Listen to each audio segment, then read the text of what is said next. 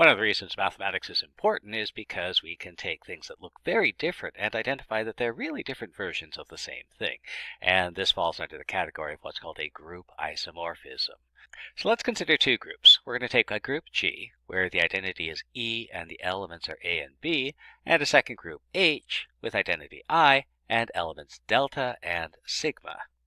Now earlier we produced the only possible multiplication table for a group with three elements, which looks like that. And because this is the only possible multiplication table for a group with three elements, when we try to find the multiplication table for H, we find the multiplication table looks like this.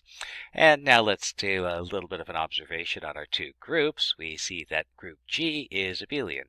A times A times b, or whatever it is, the products are symmetric because our multiplication table is symmetric along the diagonal. And if I look at the group H, I see that the uh, H is also an abelian group.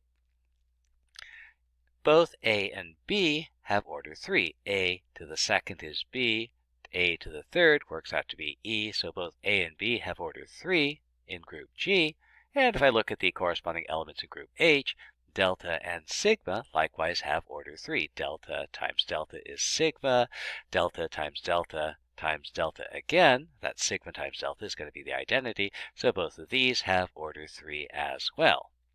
And the other thing that's worth noting, A and B are inverses. A times B gives you the identity. B times A gives you the identity. And likewise, in our other group, delta and sigma are inverses. Delta times sigma gives you the identity. Sigma times delta gives you the identity. And we have two groups. Well, they both quack like a duck, they both swim like a duck, and they both walk like a duck.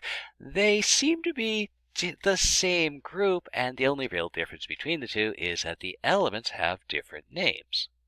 So because this seems to be the only actual difference between the two groups, maybe we can find a renaming function that's going to take the elements of G E, A, and B, and rename them, relabel them I, delta, and sigma. And one way we might do that is our renaming function might be the simplest one possible. The identity of G goes to I, the element A goes to delta, the element B goes to sigma. And because every element of G is assigned at most one value of H, we have a function from G to H. In addition, every element of H comes from some function value of g, and so we have an onto function.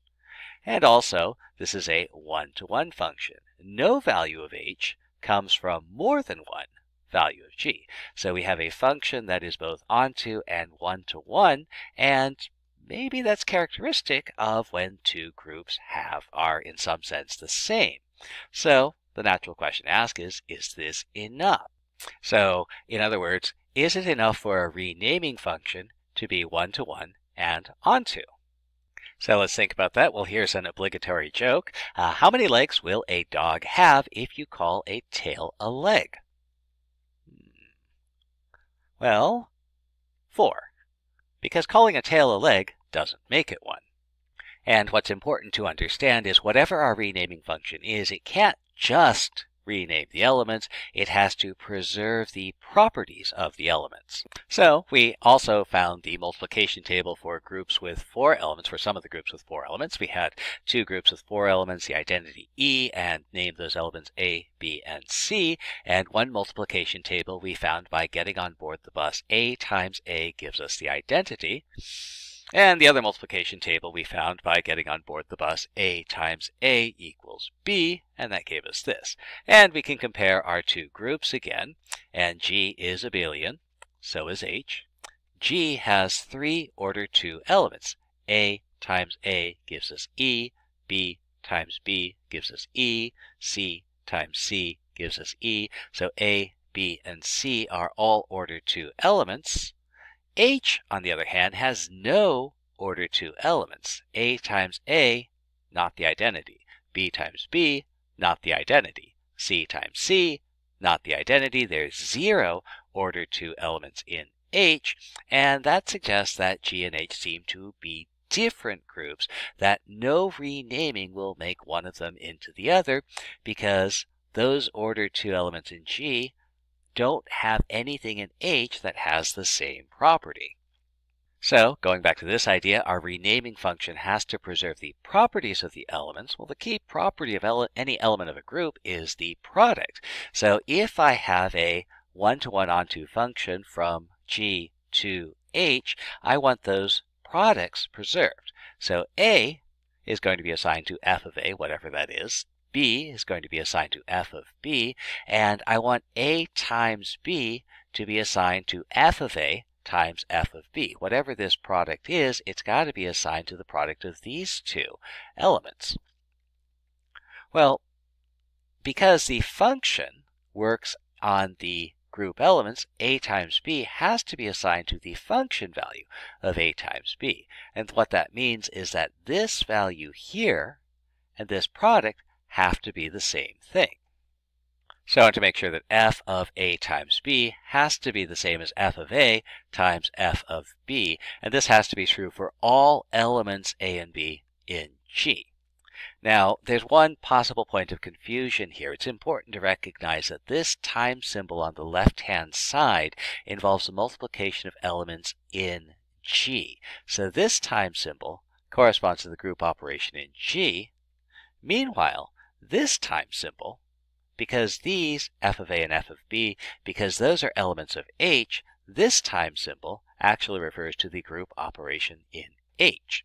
And what that means is that there could be some confusion here, and so we'll try to use different symbols for these different operations. So we might use this circle times to indicate the group operation in G, so I'll replace that here. And then I might use a circled plus to indicate the group operation in H. So this is a group operation in H, so is this. I'll replace those and write my statement that way.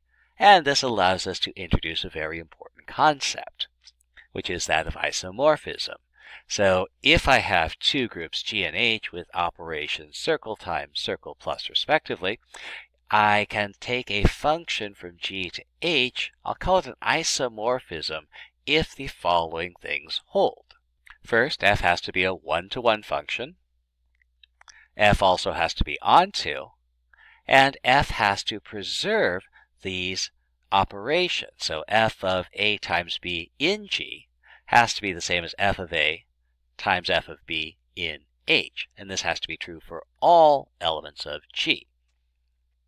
And additionally, if I can find such an isomorphism, if I have two groups and if I can find an isomorphism, then we say that G and H are isomorphic and we write G isomorphic to H using this particular notation here.